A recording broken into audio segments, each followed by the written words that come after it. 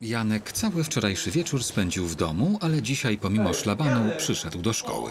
Bardzo chce zobaczyć się z Kamilą. Ciągle zastanawia się nad tym, co zrobić, aby rodzice pozwolili mu zostać w Polsce. Uciekłem z domu, muszę się zobaczyć z Kamilą. No, była tu rano, pytała o ciebie. Co jej powiedzieliście? No, że cię nie ma, ale nic nie powiedzieliśmy o szlabanie ani o wyjeździe. Uff, to dobrze. No. Stary, może odpuść ją sobie. To w ogóle ma sens. Zaraz cię tu nie będzie. Nigdzie nie jadę. Co? Wyjdziesz się zgodził? Nie, jeszcze nie.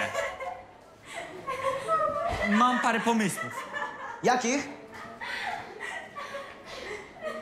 Powiem mu, że przyjęli mnie do drużyny piłkarskiej. Że jeżeli zostanę, będę miał mega perspektywy. Stary, w Anglii mają tysiąc razy lepsze kluby piłkarskie. Tam będziesz miał lepsze możliwości. No dobra, to w takim razie może wymyśl jakąś chorobę. Stary tym bardziej cię nie zostawi. W Anglii też są lekarze i szpitale. To co jeszcze mogłoby mnie tutaj zatrzymać? Dziecko? Jakie dziecko? No, stary, słuchaj, mój wujek miał jechać do Ameryki, ale wpadł z taką jedną laską, no i musiał zostać, żeby dziecko nie wychowywało się bez ojca. Rozumiesz? Ej, to może wcale nie jest taki głupi pomysł. Jest. Nie masz dziecka. Ale mój stary nie musi o tym wiedzieć. Co?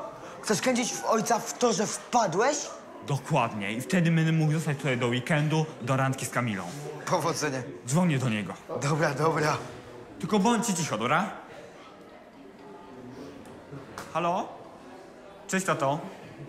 Chciałem ci powiedzieć, e, dlaczego tak nie chcę jechać do Anglii. A właściwie, dlaczego nie mogę. Będę ojcem. Uspokój się. Tak, z tą dziewczyną, o której ci wczoraj mówiłem. Dobrze, porozmawiamy osobiście. Jestem w szkole.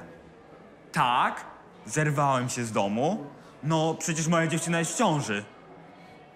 I co? Jest strasznie wkurzony, ale jedzie tutaj. Mega przypał. Jaki przypał. Starszy, że uwierzy, że będę miał dziecko i przecież mnie stąd nie zabierze. No, zobaczymy.